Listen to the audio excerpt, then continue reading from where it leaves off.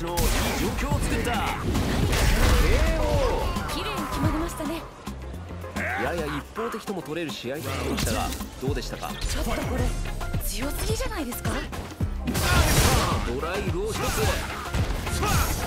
ら仕掛けていく。試合は始まったばかり